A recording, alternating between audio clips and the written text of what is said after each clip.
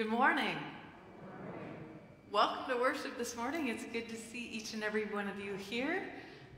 Can you hear me? Yeah, a little too well. It's being fixed, I promise. I was warned. I was just warned that that might happen. Um, so I'll try to speak softly until it uh, is shifting here.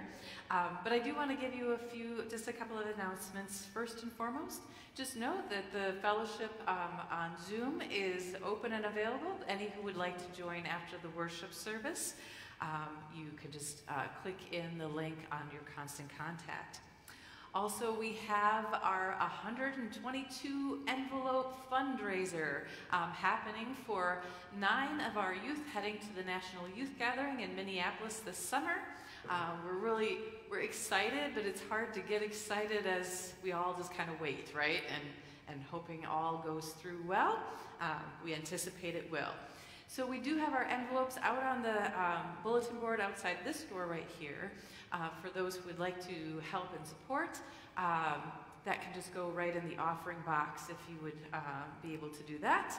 Uh, just put, you simply put the amount that's on the envelope. It's as simple as that.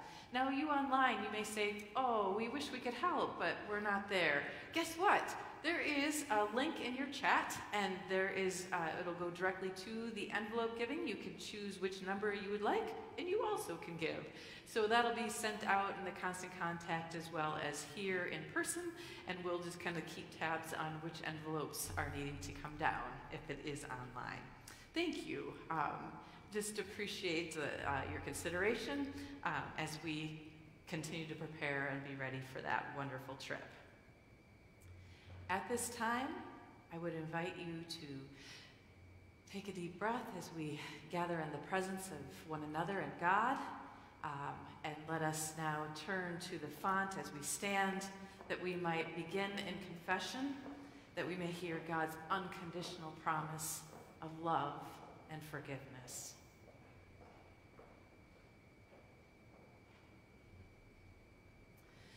God, whose love never quits, Help us admit that we have been wrong.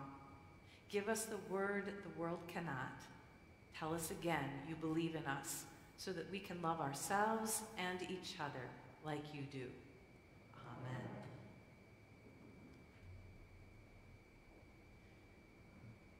We find ourselves lost. We convince ourselves we are unlovable. We wonder if God is against us. We find ourselves dirty. Sometimes we are deep down in a dark hole. When we feel old and used up.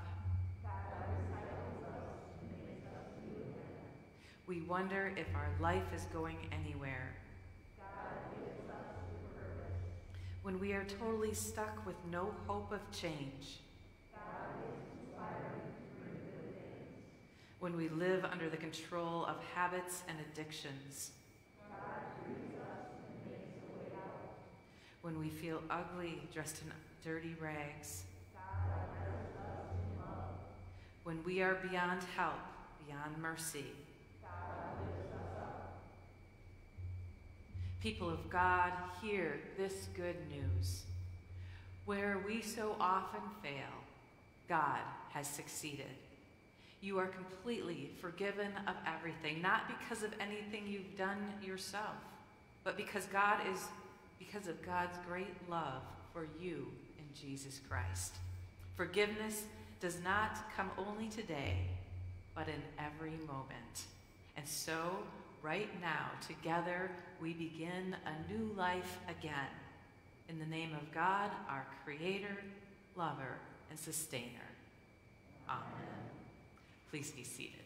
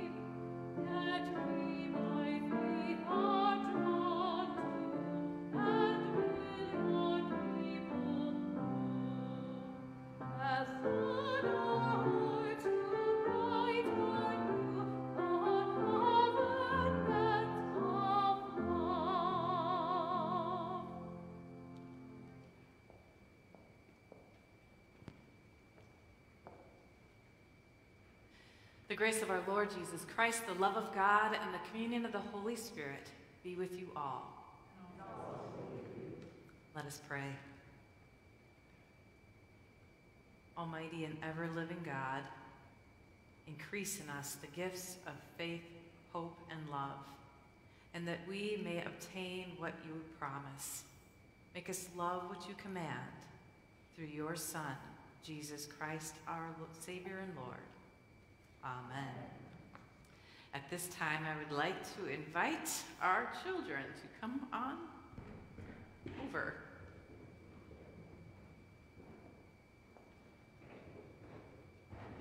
Good morning. That's quite the trek you make. I appreciate it.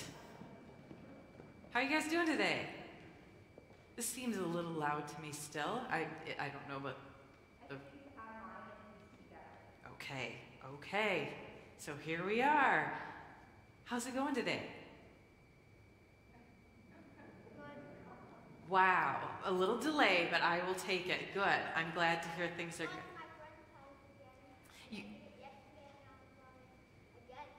Oh my goodness, you get to spend some time with a friend. That sounds fun. Well, you know what? I am going to ask you to do something for me today, all right? Anytime I say something that you like, I want you to go, yay! Can we just practice that for a minute? Something you like, and you go,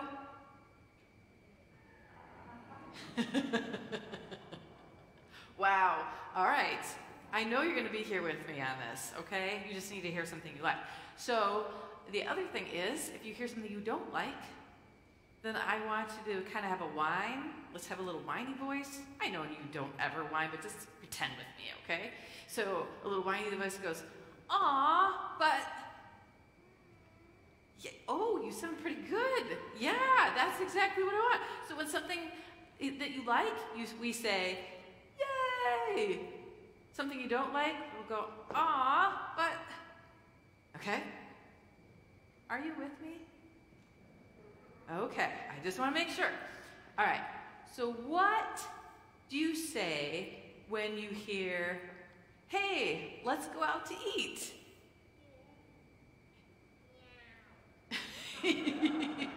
All right, your own version, that's okay. A yay and a yow. All right, we'll take it. What happens when you hear it's time for your bath or shower? Oh.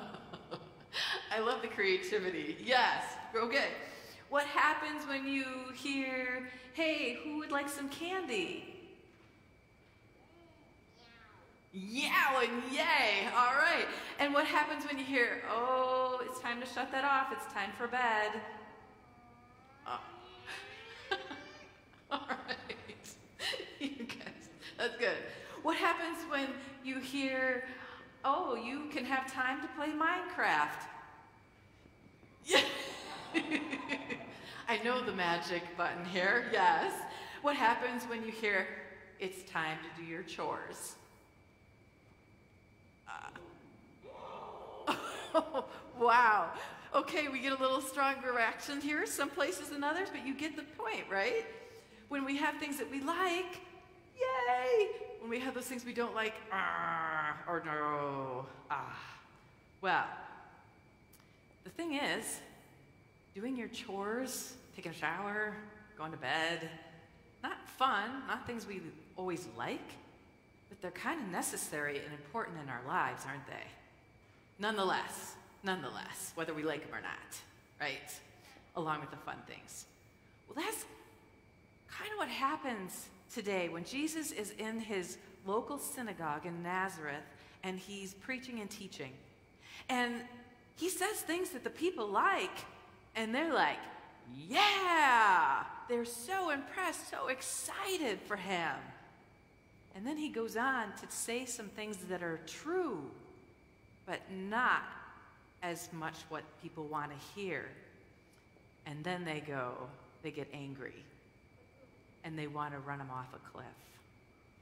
You know, he tells them God is going to set the oppressed free. And they're excited about that good news. But then when he says, but you know, it's for everyone, including your enemies and those people you don't like, those were hard words to hear for them. And it's tough sometimes for us today. And yet, it is important for us to know that if we receive God's love, God's liberation, God's freedom in life, that that means it is for all. There are no favorites. And that is what we're going to be talking about today. Will you pray with me? Gracious God, there are sometimes things that we do not like to hear, even though they are good and true. Be with us in those moments. Keep our hearts and our minds open, knowing that you love us and you want the best for us, as well as our neighbor and even those we might not like. All these things we lift up and ask in Jesus' name. Amen. Thank you so much for coming up. You guys were great.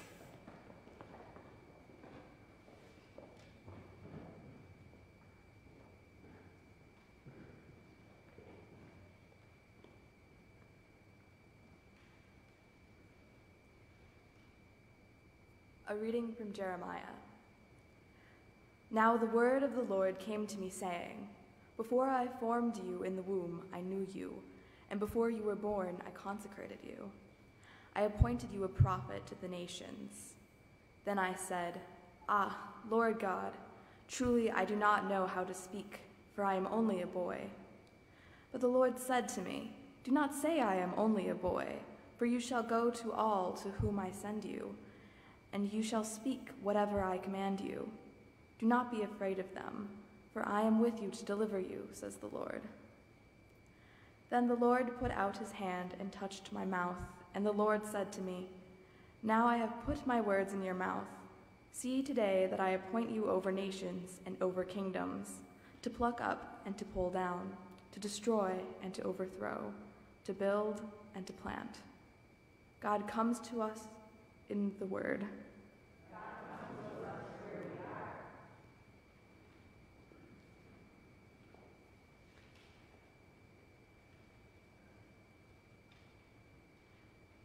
Psalm is spoken today, and we will start with the uh, lectern side, I think. Yes, lectern side uh, will take the unbold verses, and the organ side will take the bold verses. In you, O Lord, have I taken refuge. Let me never be put to shame. In your righteousness, deliver me and set me free. Incline your ear to me and save me. Be my strong rock, a castle to keep me safe. You are my crag and my stronghold. Deliver me, my God, from the hand of the wicked, from the clutches of the evildoer and the oppressor. For you are my hope, O Lord God, my confidence since I was young. I have been sustained by you ever since I was. From my mother's womb you have been my strength. My praise shall always be of you.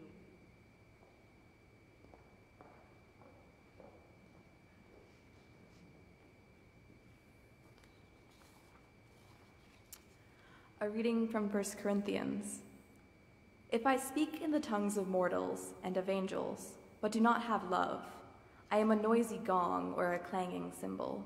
And if I have prophetic powers and understand all mysteries and all knowledge, and if I have all faith so as to remove mountains, but do not have love, I am nothing. If I give away all my possessions, and if I hand over my body so that I may boast, but do not have love, I gain nothing. Love is patient, love is kind, love is not envious or boastful or arrogant or rude. It does not insist on its own way, it is not irritable or resentful. It does not rejoice in wrongdoing, but it rejoices in the truth. It bears all things, believes all things, hopes all things, endures all things. Love never ends, but as for prophecies, they will come to an end. As for the tongues, they will cease. As for knowledge, it will come to an end. For we know only in part, and we will prophesy only in part. But when the complete comes, the partial will come to an end. And when I was a child, I spoke like a child, I thought like a child, I reasoned like a child. When I became an adult, I put an end to childish ways. For now we see in a mirror, dimly, but then we will see face to face. Now I know only in part, then I will know fully, even as I have been fully known. Now faith, hope, and love abide, these three, and the greatest of these is love. God comes to us in the Word. God comes to us where we are.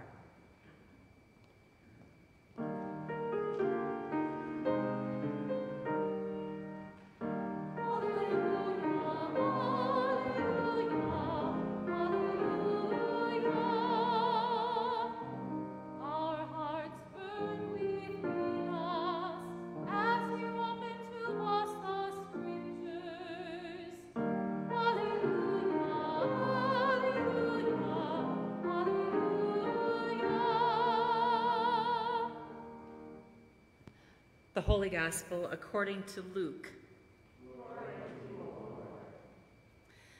Then Jesus began to say to all in the synagogue in Nazareth, Today this scripture has been fulfilled in your hearing. All spoke well of him and were amazed at the gracious words that came from his mouth. And they said, Is not this Joseph's son?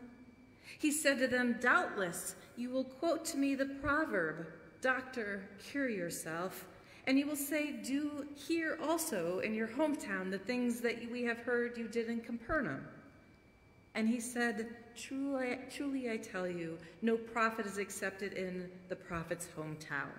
But the truth is, there were many widows in Israel in the time of Elijah when the heaven was shut up three years and six months, and there was a severe famine over all the land. Yet Elijah was sent to none of them except to a widow at Zarephath in Sidon. There were also many lepers in Israel in the time of the prophet, prophet Elisha, and none of them was cleansed except Naaman the Syrian. When they heard this, all in the synagogue were filled with rage. They got up, drove him out of town, and led him to the brow of the hill of which their town was built, so that they might hurl him over the cliff. But he passed through the midst of them and went on his way. The Gospel of the Lord. Please be seated.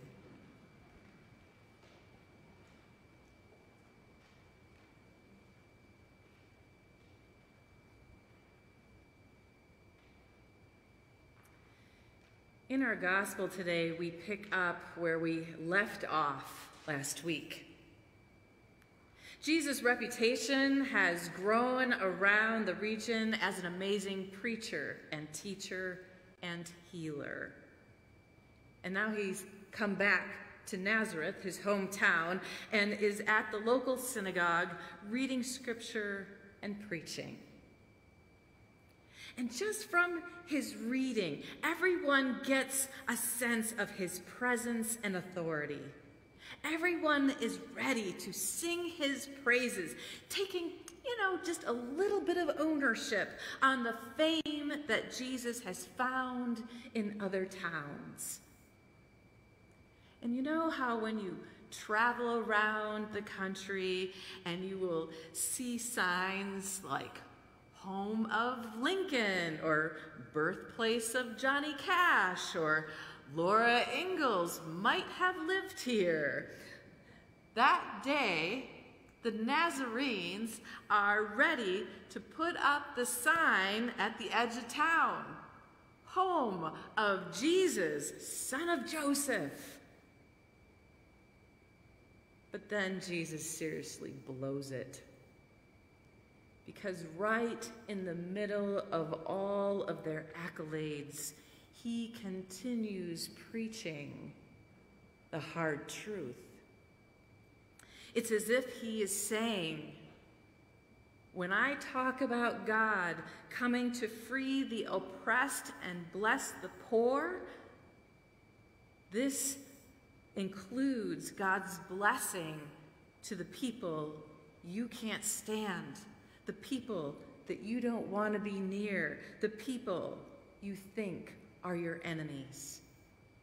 And then reminds them of a couple of stories in their own scripture.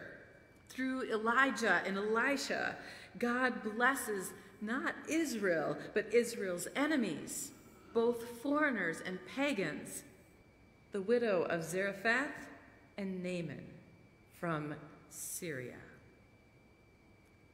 Jesus has the guts to tell them and us you won't be able to claim God's blessing for your life unless you claim them for other people's lives at the same time. Their response, they are livid. It is hard to hear an uncomfortable truth without getting defensive and angry, responding, How dare you talk to me that way? And so here we are at the very onset of Jesus' ministry. And let's face it, that's pretty much the way it usually is.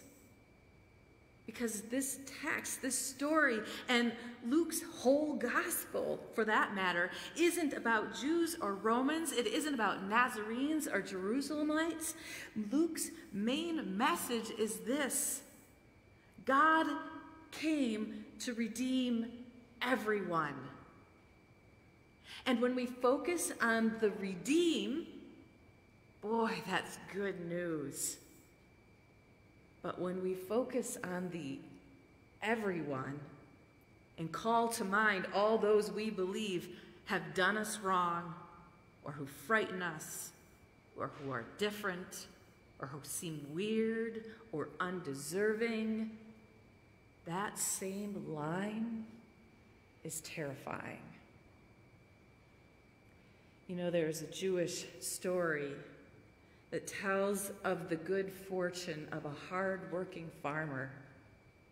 The Lord appeared to the farmer and granted him three wishes, but with the condition that whatever the Lord did for the farmer, uh, for the farmer would be given double, double to his neighbor.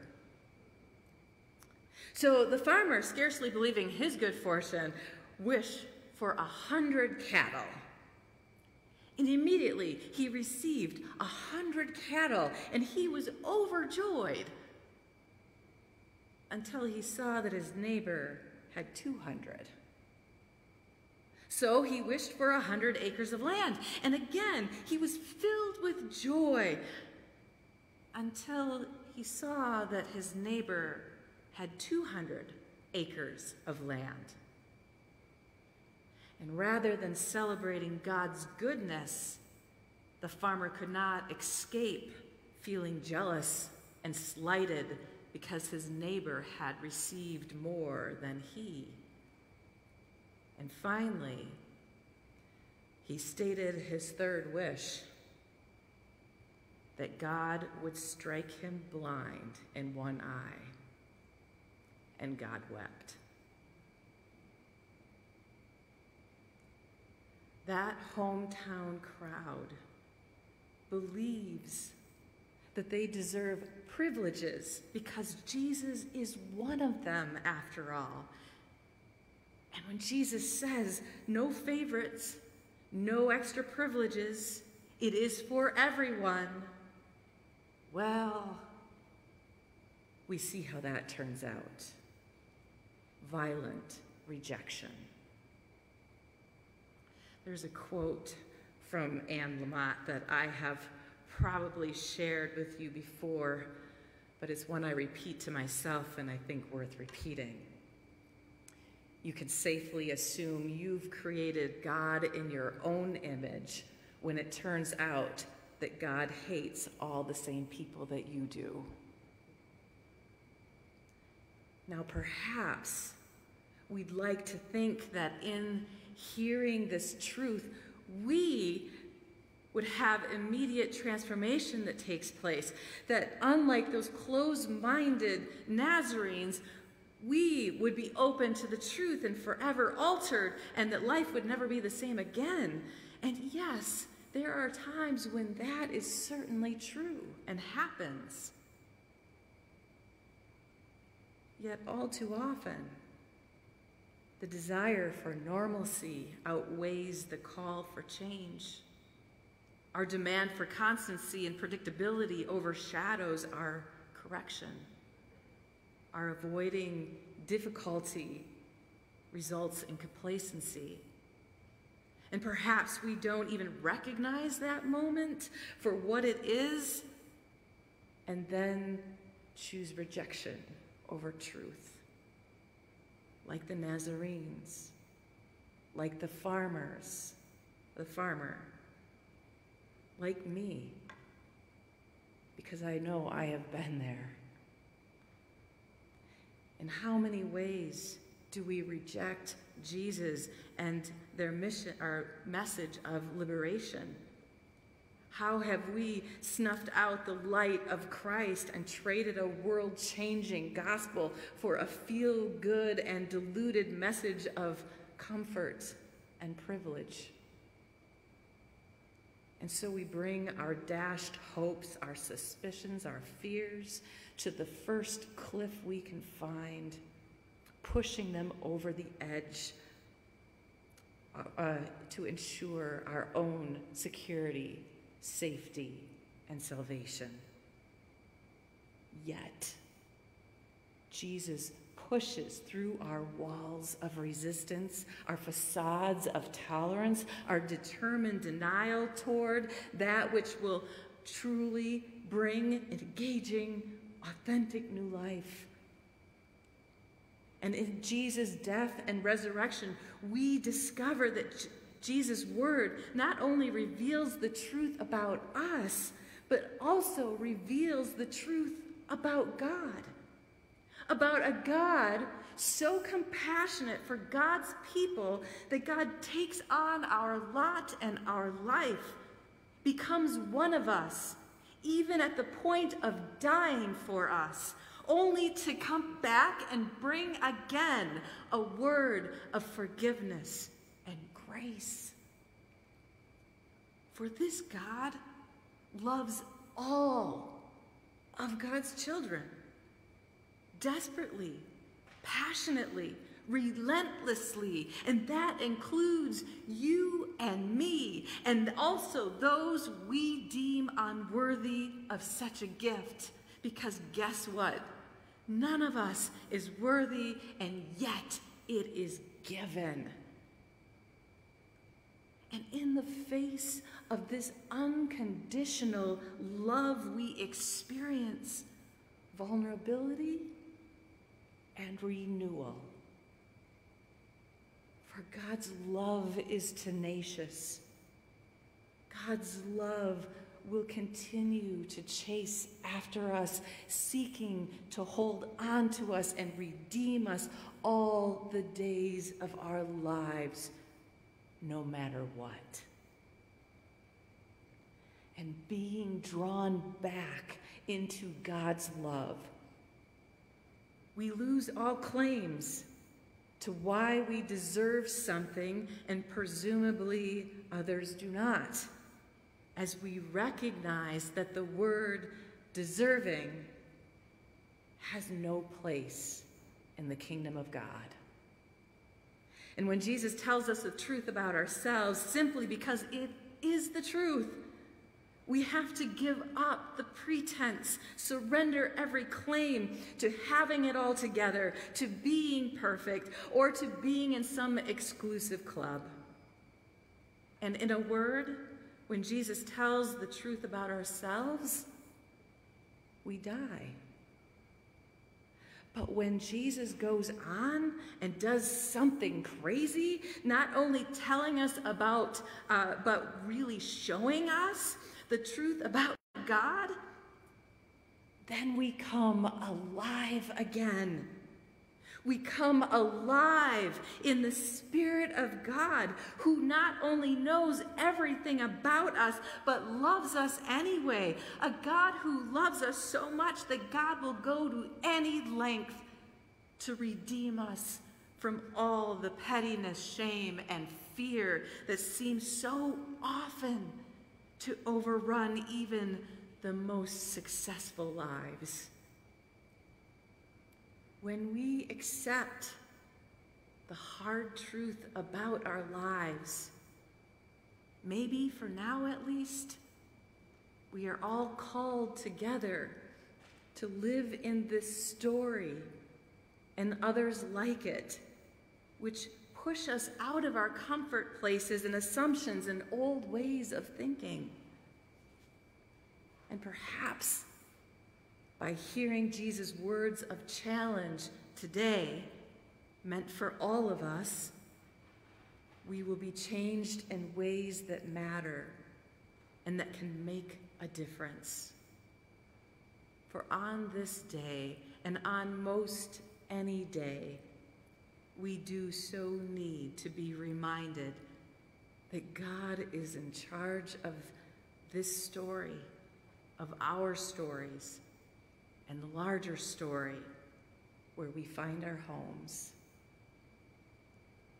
You know, our gospel story ends today in this mysterious and hopeful way. Jesus, passing through the midst of them, goes on his way. The good news is that we can't get rid of him too easily. This hometown boy not only brings the truth, he is the truth and is willing to risk everything so that everyone might be redeemed and saved. May we rejoice in this truth. May we come alive in Christ's love. And may we in un, uh, uninhibitedly share this love, this good news with everyone. Amen.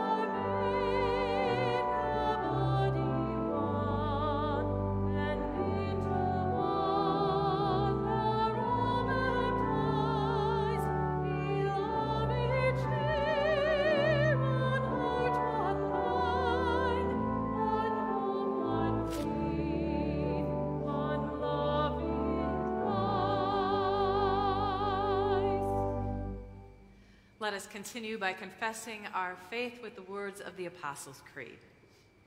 I believe in God, the Father Almighty, creator of heaven and earth.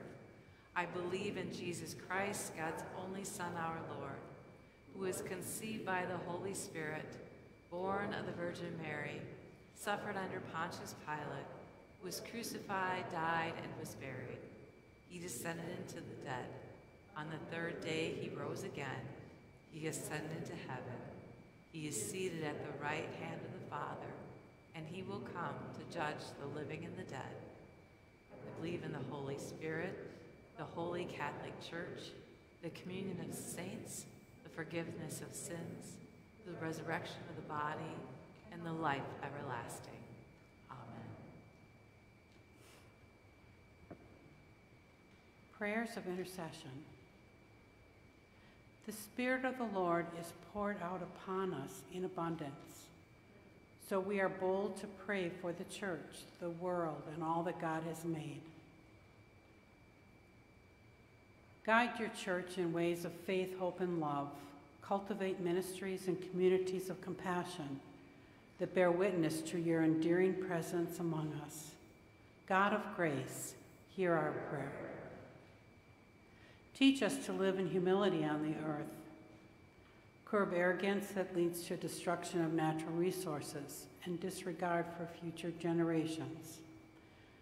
Inspire the work of scientists who urge us to live in harmony with your creation. God of grace, hear our prayer. You are the refuge of all who seek hope and freedom accompany immigrants, refugees, and asylum seekers who cross borders to find safety and opportunity. Support indigenous populations who struggle with the legacy of racism and cultural misappropriation. Embolden leaders to draft compassionate policies on behalf of migrants and those who assist them. God of grace, hear our prayer. Love bears, believes, hopes, and endures all things. Comfort with your love all who are lonely, fearful, and brokenhearted. Sustain the hope of all those who suffer in body or spirit, especially Arlene, Steve, Anne, Nan, Susie, Paige, Dolores, Leon, Ginger, Phil, Gregory, Julie, Dan and Maria, Lois, Barb, Eric, Mavis, and the family of friends of Norm Cunai. And for those other concerns we offer silently, out loud, or in the comments of our live feed. God of grace, hear our prayer. Your grace falls upon young and old alike. Bless the gifts of children in this congregation and in this community. Give us humble hearts to follow their leadership. Inspire us with their laughter, their insight, and their curiosity. God of grace, hear, hear our prayer. We praise you for those who have gone before us and now see you face to, face to face, especially Norm. Abide with us in this mortal life until we rest in the arms of your never ending love. God of grace, hear, hear our, prayer. prayer. Since we have such great hope in your promises, O God, we lift these and all our prayers to you in confidence and faith. Through Jesus Christ our Savior Amen. Amen. The peace of Christ be with you always. Let us take time and share Christ's peace with one another. Don't forget those on the live feed. Peace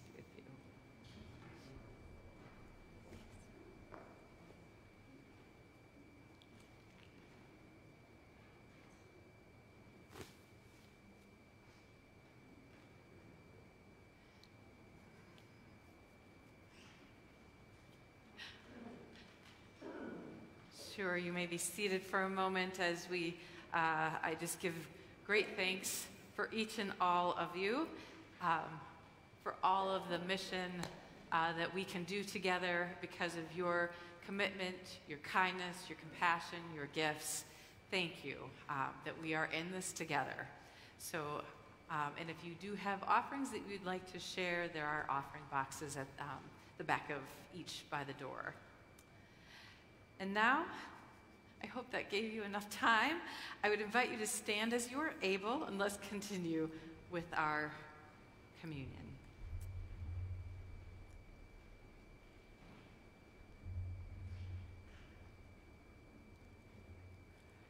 Blessed are you, O God, sovereign of the universe. You offer us new beginnings and guide us on our journey. Lead us to your table, nourish us with this heavenly food, and prepare us to carry your love to a hungry world. In the name of Christ our light, amen. Amen. The Lord be with you. Lift up your hearts. Let us give thanks to the Lord our God. Blessed are you, O holy God. You are the life and light of all. By your powerful word, you created all things, and through the prophets, you called your people to be a light to the nations. Blessed are you for Jesus, your Son.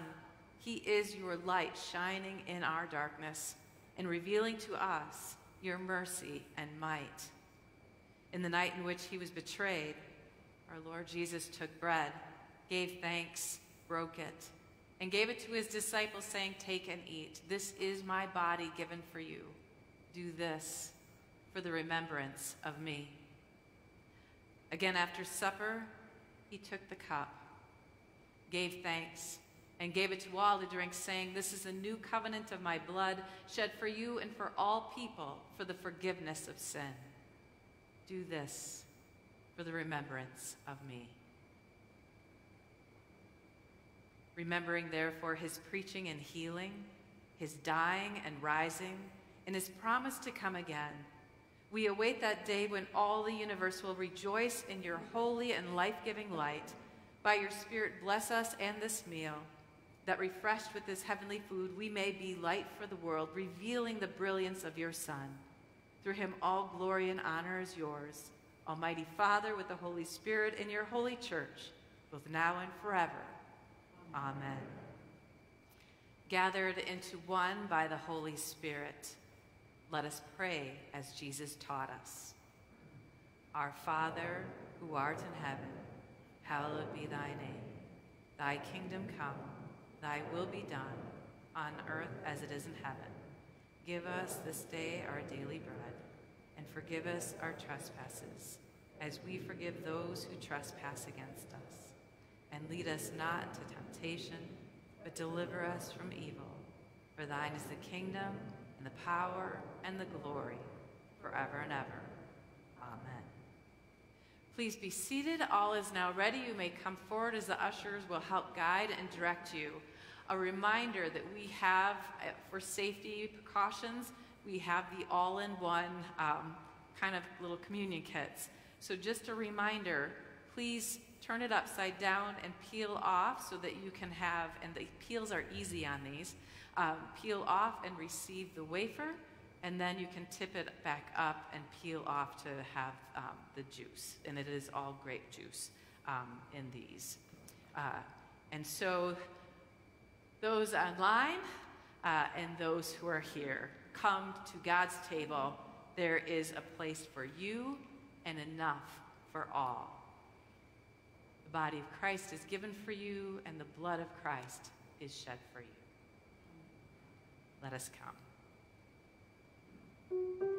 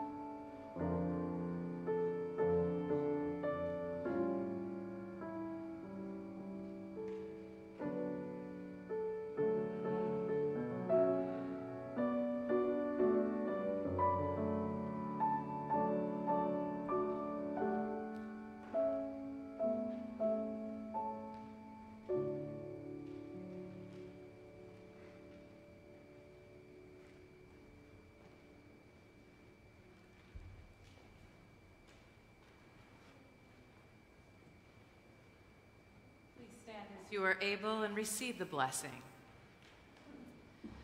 May the body and blood of our Lord Jesus Christ strengthen you and keep you in his love and grace. Amen. Amen. We give you thanks, gracious God, for we have feasted on the abundance of your house.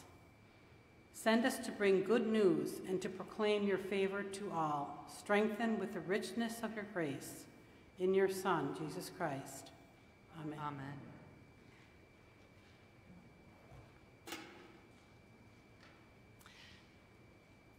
And now, God who leads you in pathways of righteousness, who rejoices over you, and who calls you by name, bless your going out and your coming in today and forever. Amen.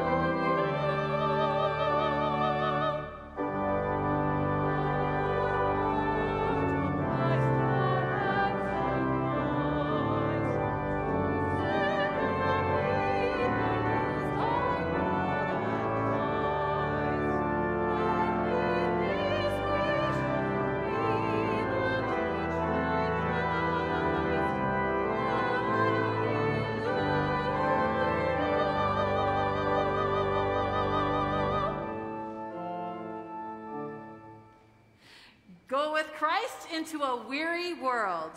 Share the good news.